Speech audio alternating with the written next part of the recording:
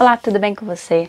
Bom, hoje eu quero falar especialmente com você que tem planos de vir para Portugal, já tem tudo preparado, de repente já tem até data, até voo comprado para vir para Portugal em 2020. A minha opinião é: não venha para Portugal em 2020. A situação aqui não tá fácil, assim como também não tá no Brasil e assim como não tá em vários lugares do mundo. E, claro, hoje estou falando em Portugal, né, porque é, é, onde eu moro e é com o público que eu me comunico, né, principalmente com o público que tem a vontade, tem um desejo, ou já está se planejando para morar em Portugal. E eu não vejo possibilidades de você conseguir começar a sua vida em Portugal ainda esse ano. Eu realmente não vejo. O desemprego é, é claro aqui, já começou a, a muitas pessoas serem despedidas. Já vários postos de emprego já não estão abertos, já não estão disponíveis e a gente nem tem ideia de quando tudo isso vai voltar ao normal.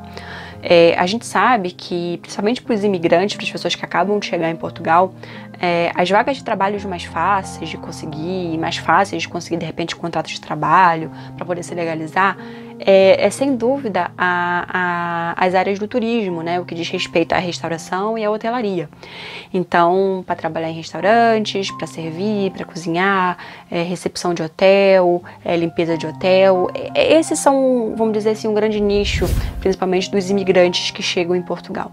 E essa é, infelizmente, a área mais afetada em Portugal nesse momento. Então, muitas pessoas que tinham, por exemplo, contratos é, a termo certo, ou pessoas que iam renovar o contrato, normalmente o contrato é feito a cada seis meses, ou, ou de repente está em período experimental, é, essas pessoas foram praticamente todas demitidas. A não ser pessoas que já estavam mais tempo, já tinham um contrato já em andamento, um contrato de repente que não venceu, essas assim até podem ter continuado, mas muitas pessoas, muitos imigrantes que tinham um contrato a termo certo, ou estavam em período experimental, muitos deles foram demitidos, até porque muitas dessas empresas é, também vão acabar por fechar e acabaram, ou vão acabar por fechar nas próximas semanas ou nos próximos meses. Porque muitas delas são empresas pequenas, então são mini e médias empresas e que não têm a condição nem de entrar no layoff. Né? Muitas dessas empresas não têm condições de suportar o, valor que tem que ser pago, por menor que seja, o layoff. Então, muitas dessas empresas vão sim fechar e as vagas de emprego em Portugal vão sim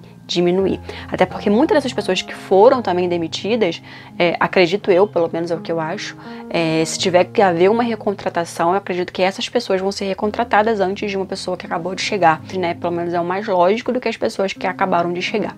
Então, além dessa questão do desemprego, né? Inclusive o ministro da Economia ele disse no final de março é, que é inevitável o encerramento de algumas empresas e, os, e, a perda dos postos de trabalho devido à crise gerada pela, pela pandemia, salientando a importância de pensar desde já em como apoiar a retoma.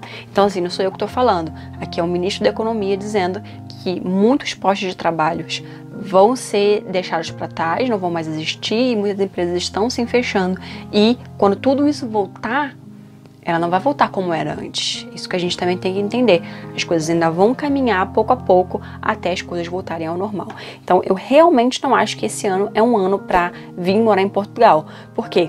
É... Primeiro que não tem data para acabar, né? Dizem aqui que é que é, é, provável que a quarentena vá até o final de junho, mas ninguém sabe se vai ser em junho, se vai ser em julho, se vai ser em agosto. E por mais que volte nos próximos meses, a coisa vai começar mesmo lá de baixo. A economia não vai se estabilizar, as coisas não vão voltar ao normal.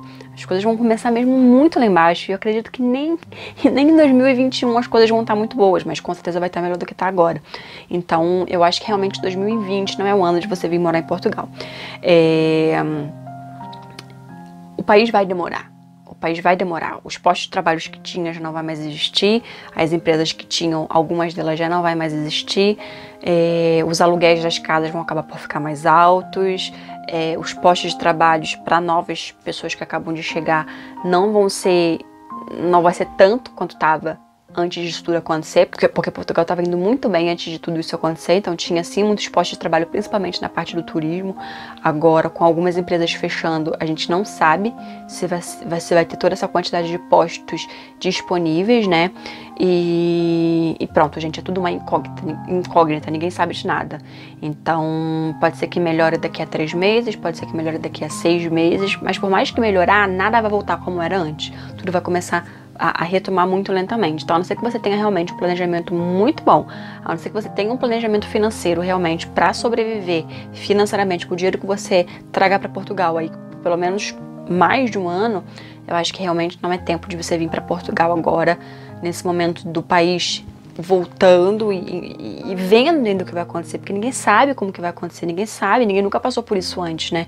Então a gente não sabe como que Portugal, pode ser que Portugal reaja muito bem, as coisas voltem mais rápido, né, pro lugar, mas a gente não sabe. Então eu acho um risco muito grande você tá com tudo programado para vir para Portugal esse ano. Eu, se eu estivesse no seu lugar, eu esperaria a poeira baixar um pouquinho, eu esperaria para ver como que o país está voltando, é, eu esperaria para ver como está os postos de trabalho, como está a oferta de trabalho, como está o país, para sim marcar a data para vir para Portugal. Eu estou dizendo isso como uma pessoa que mora aqui, como uma pessoa que está vendo o que está acontecendo e uma uma pessoa que quer o seu bem, né? Se com certeza se eu daqui a três, quatro meses, cinco meses, não sei, que isso tudo acabar e eu ver, caramba, tem tendo muita oferta de trabalho, meu Deus, é, realmente Portugal está com todo gás e quer voltar mesmo e, e as empresas estão contratando, o pessoal está com muita vontade e as coisas realmente estão andando.